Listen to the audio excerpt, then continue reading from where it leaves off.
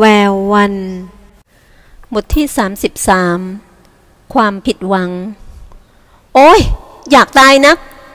แวววันใช้ขวานฟันต้นทองหลางแห้ง ริมท้องร่องอย่างโมโหโกรธา มันเรื่องอะไรกันแล้ววะ เสียงน้องชายของหล่อนตะโกนถามมาจากอีกฟากหนึ่ง ยังสาวยังแท้ผัวก็ยังไม่มี มันเรื่องอะไรถึงจะอยากตาย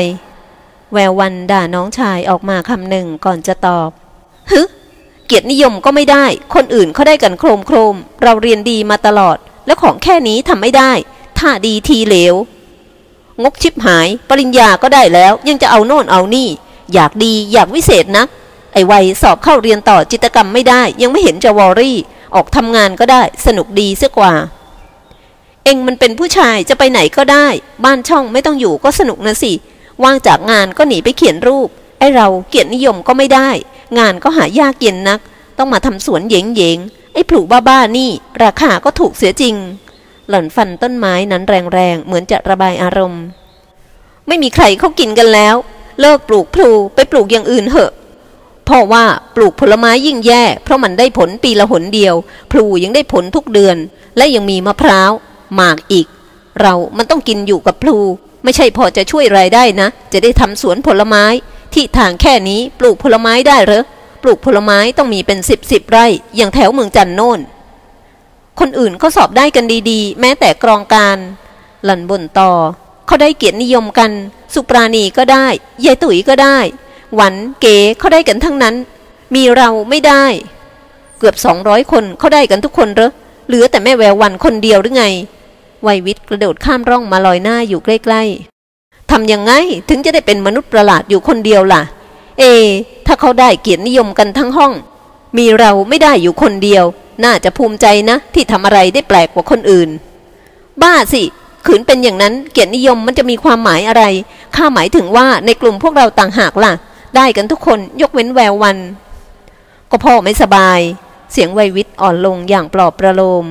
ข้าเองยังต้องเลิกไปต่างจังหวัดชั่วคราว จะบ่นไปทำไม รู้ก็รู้กัน ตอนนี้ยังเดินไม่ถนัดทำไมต้องมาไม่สบายตอนเรากำลังจะสอบก็ไม่รู้ หล่อนบ่นอีก ยังกับแกล้งกันแน่ อยู่ๆก็ชักตาตั้งขึ้นมาเฉยๆนรกรอกุดหัวอยู่แล้ว หาว่าพ่อแกล้ง เขาจะแกล้งไปทำไม โรคภัยไข้เจ็บ มันจะแกล้งกันได้หรือ แวววันไม่ตอบ ยกขวานฝันต้นไม้ต่อ ต้นทองลาง แห้งตายซาก ต้นนั้นล้มคลืนลงมาขวางท้องร่อง ไวยวิทย์กระโดดข้ามไปช่วยยกให้มันล้มกลับมาทางเก่า นี่ นี่ นี่ นี่ สับมันเป็นท่อนๆ ให้หายเจ็บใจ หล่อนฟันมันออกเป็นท่อนๆ สุดกำลัง ทีนี้ก็ถึงตอนหางานทำละ แต่ก่อนไม่เห็นมีใครพูดกัน ตอนนี้เขาถึงมาพูดกันว่า พวกเราที่จบมหาวิทยาลัยนี่น่ะ บางคนหางานทำไม่ได้ ว่างงานนานเกือบปีก็มีอย่างเราขืนว่างอย่างนั้น พอดีอดตาย พ่อยังไม่ค่อยสบายอยู่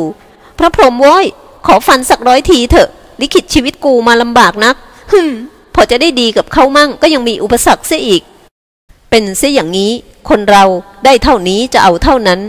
เสียงหนึ่งฟังแปลกหูดังขึ้นทันควัน ส่วนสองพี่น้องสะดุ้งหันไปมอง แวววันในตาเขียวปัด หล่อนขยับริมฝีปากจะบอกว่ามันเรื่องอะไรของแกด้วยล่ะ แต่ระงับไว้ทันอ๋อพี่เงียม หายไปไหนตั้งนาน วัยวิทย์ทักชายหนุ่มผู้นั้น ไปทำงานต่างจังหวัด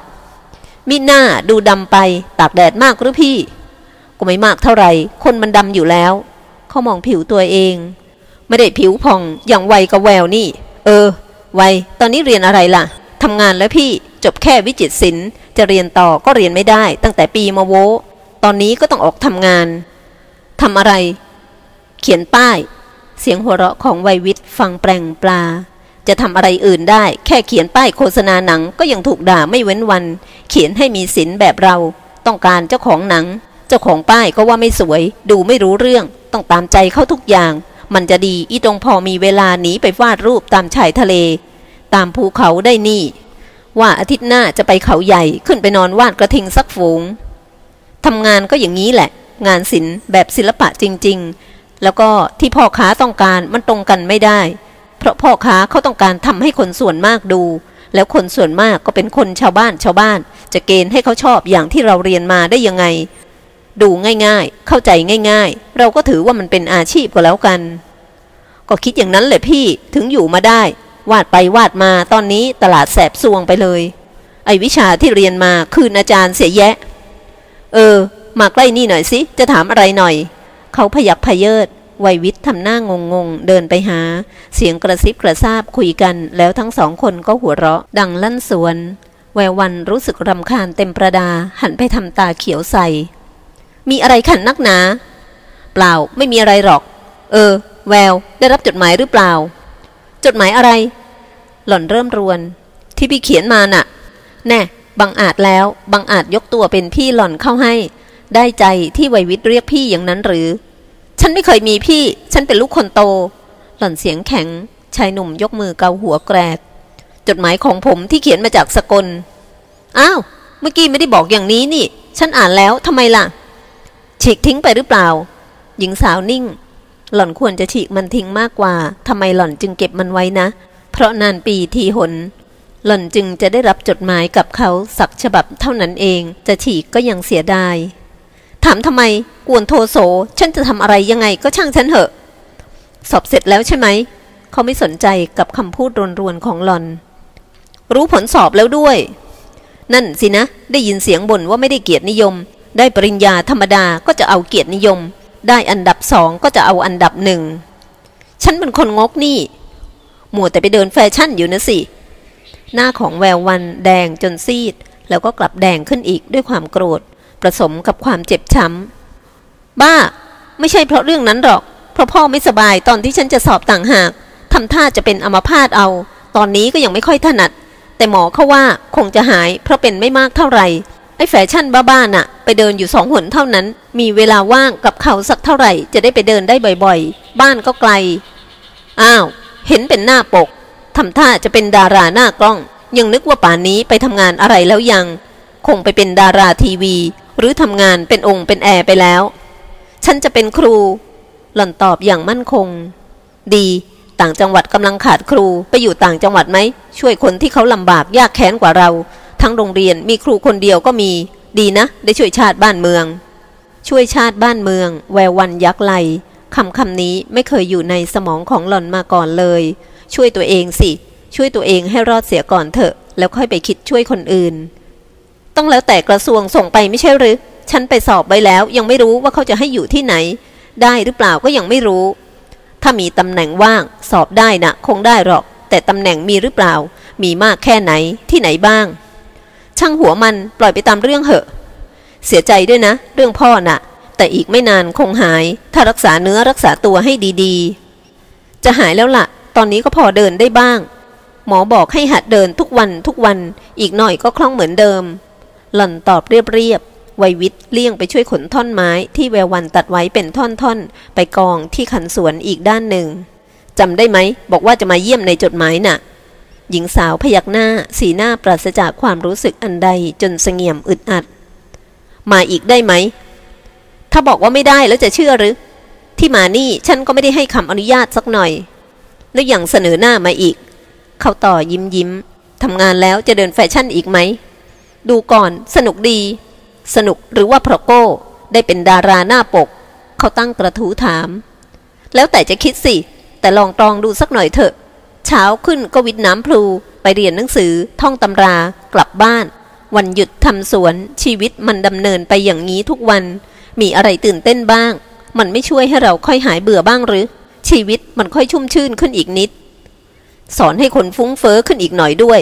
ไองานอย่างนั้นมันช่วยอะไรใครได้มั่ง นอกจากจะเปลืองเงินค่าเครื่องสำอาง ค่าเสื้อผ้าเพิ่มขึ้นทำให้ประเทศเราเสียเปรียบดุลการค้ายิ่งขึ้นอีก ทั้งที่ควรจะประหยัด เอาเงินพวกนั้นไปช่วยชาวบ้านที่ลำบาก หรือว่าเก็บไว้ทำสิ่งที่เป็นชิ้นเป็นอันน่าเสียดาย ฉันเคยคิดเรื่องนี้มาแล้ว คุณลืมไปเสียละมังว่าคนในสังคมเรามีหลายระดับ เราจะบังคับให้ทุกคนเหมือนกันหมดไม่ได้ เมื่อฉันต้องอยู่ในสังคมสองแบบ ฉันก็จะปรับตัวให้เข้ากับทั้งสองฝ่ายได้ ฉันเดินแฟชั่นให้คนมีเงินดู แต่ก็เลือกว่าเสื้อชุดที่ฉันใส่น่ะ จะไม่เหลือเกิน ฉันแต่งแต่ชุดกลางวันหรือชุดราตรีที่สุภาพ ให้พอเหมาะกับความเป็นนิสิตของฉัน ต่อไปก็ต้องให้เหมาะกับความเป็นครู ไม่ใช่ไปโชว์ชุดอาบน้ำหรือชุดที่ตัดชเวกชวาก ตอนที่ฉันอยากจะเป็นครูก็ทำหน้าที่ของฉันให้ดีที่สุด ที่ฉันเป็นสาวชาวสวน ฉันก็ทำสวนของฉันไปตามเรื่องตามกำลัง แล้วมันเสียหายตรงไหน ถึงฉันไม่เดิน คนอื่นเขาก็เดิน อย่างนี้ฉันเสียเองดีกว่า ยังได้รู้จักโลก รู้จักอะไรแปลกๆบ้าง เรื่องเสื้อผ้าเครื่องสำอางน่ะ คุณห้ามผู้หญิงไม่ได้หรอก มันก็เหมือนห้ามผู้ชายส่วนใหญ่เรื่องเล่าเรื่องบุหรี่ใครห้ามได้บ้าง แต่คนเราต้องมีอุดมการณ์ฉันก็มี หล่อนเถียงเสียงแข็ง ไม่งั้นชาติจะไปไม่รอดได้ อุดมการณ์ของคนรุ่นใหม่ ที่จะช่วยให้ทุกอย่างเปลี่ยนไปในทางที่ดี ไม่ใช่เลวร้ายอย่างปัจจุบัน เขาพูดต่อเหมือนไม่ได้ฟังหลอน ถ้าคนรุ่นเราทุกคนช่วยกันต่อต้านความฟุ้งเฟ้อฟุ่มเฟือย ช่วยกันสร้างสรรค์ พากันออกไปพัฒนาตามถิ่นที่ห่างไกลความเจริญ ไปช่วยกันสอนหนังสือเด็ก จะได้ช่วยแก้ปัญหาของสังคมปัจจุบันได้บ้างแหมพูดดีนี่ แต่จะทำได้แค่ไหนก็ไม่รู้ ตอนนี้ฉันต้องทำงานนะ ขอโทษที่ต้องตัดทองหลางต่อ มันแห้งไปหลายต้นแล้ว ถ้าจะคุยก็ต้องคุยไปทำงานไป คว้าขวานไปสับทองหลางต่อ ไอการออกแรงอย่างนี้มันดับอารมณ์ได้ดีพี่ลึก โกรธอะไรผิดหวังอะไรก็มาฟันฟันไอ้ทองหลางนี่นะหรืองั้นสิ แล้วยังถากไม้ค้างอีก ฟันดิน วิทน้ำโทสะมันเกิดก็ออกแรงให้มันเหนื่อย แต่ที่ดีจริง ๆ ก็ฟันต้นไม้นี่แหละ โกรธใครก็นึกว่ากำลังฟันคนนั้น ชายหนุ่มมีสีหน้าหวาดหวาด แล้วหายโกรธหรือ ไม่หายหรอก แต่ก็ทำให้เราระงับการแสดงออกได้ดีขึ้น พอให้เกิดสติรู้ว่าควรจะทำอย่างไรดี เธอนี่ก็ยังขี้โมโหเหมือนเดิม อ๋อ ยังปากจัดเหมือนเดิมด้วย เพียงแต่ไม่ด่าเปล่าๆเท่านั้นแหละ เพราะเป็นผู้ใหญ่ขึ้นเสงี่ยมหัวเราะเสียงไม่เบานักวัยวิทย์หันมามองอย่างประหลาดใจเมื่อได้ยินเสียงหัวเราะของพี่สาวดังแทรกอยู่ด้วย หัวเราะออกแล้วหรือ เมื่อกี้ยังโวยวายผิดหวังอยู่นี่นาวัยวิทย์ทำปากจู เขาพอเข้าใจท่าทีของเสงี่ยม แต่เขาเชื่อมั่นว่าไม่มีทาง ไม่มีวันสำเร็จหรอกนายเอ๋ย ไอ้แวววันมันคนฝันสูงจะตาย วันรุ่งขึ้นแวววันไปฟังผลสอบ เข้ารับราชการครูของหลอน และต้องประสบกับความผิดหวังขนาดหนัก หล่อนสอบได้ แต่ตำแหน่งว่างไม่พอกับจำนวนคนที่สอบได้ ผู้ที่ได้ที่หนึ่งสองสามได้บรรจุ นอกนั้นต้องรอ ซึ่งไม่ทราบว่าเมื่อไหร่จะมีตำแหน่งว่าง กรองการไปติดต่อถามข่าวคราวเรื่องงานที่หล่อนจะต้องไปทำที่บ้านเกิดเมืองนอนของหล่อน ตามสัญญาที่ทำไว้ก่อนรับทุนมาเรียน แต่คำตอบก็คือ ตอนนี้ตำแหน่งที่ปราจีนไม่ว่างในสาขาของคุณ มีแต่ต้องการวทบ คุณต้องรอ ไม่อย่างนั้น ก็กลับไปที่จังหวัดอื่น เผื่อว่ามีงานอย่างอื่น พอเอามาจ้างคุณได้ หรือว่าตำแหน่งงานที่เกี่ยวข้องกันตามที่จังหวัดต้องการ กรองการถอยออกมา หล่อนบอกแวววันด้วยสีหน้ายิ้มแย้มตำแหน่งไม่ว่างก็ดี ฉันไม่ไปติดต่อที่จังหวัดให้โง่ จะอยู่กรุงเทพอีกสักพัก เรียนปริญญาโทต่อ แล้วทำงานสอนหนังสือโรงเรียนราช เอาเงินมาเรียน เราไปสมัครงานตามโรงเรียนราชด้วยกันไหม คงหาไม่ยากหรอก แวววันพยักหน้าอย่างเลื่อนลอย ความรู้สึกในขณะนั้นมันทั้งคืนและขม ความร้อนจากอากาศรอบกายดูเหมือนจะซึมเข้าไปในร่างกายของหล่อน และไหลวนไปทั่ว สิ่งเดียวที่หล่อนทำได้คือกลับไปบ้าน ฟันต้นทองหลางแห้งจนหมดทุกต้น หล่อนออกแรงจนเหนื่อยหอบ เหงื่อโชกเหมือนอาบน้ำมันไหลเข้าไปในดวงตา ที่ริมฝีปาก หล่อนแลบลิ้นเลียหยดเหงื่อตรงมุมปาก ช่างเข็มอะไรเช่นนั้น หยดที่เข้าไปในดวงตาก็ทำให้หล่อนรู้สึกแสบ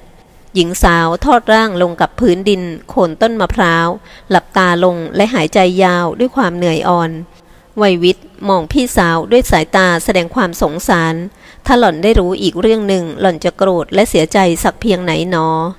เมื่อวานเห็นลูกชายคุณนายองุ่นกับแม่แวววัน บัณฑิตจุลามานั่งกัดแอ่งกันอยู่ที่หัวสวน หัวรอกกันระริกระรีท่าทางเป็นปลากระดีได้น้ำทีเดียว วัยวิทย์ได้ยินมากับหู ป่านนี้ข่าวคงกระจายไปทั่วตำบล ทีแรกเขาก็งงกับคำว่ากัดแอง นึกไม่ออกว่าหมายความว่าอะไร แต่เขานึกได้เมื่อตะกี้นี้เอง เสียงปลาช่อนในท้องร่องสวน อุบดังโผง กัดแอง ก็ปลาช่อนผสมพันธุ์กันนะสิ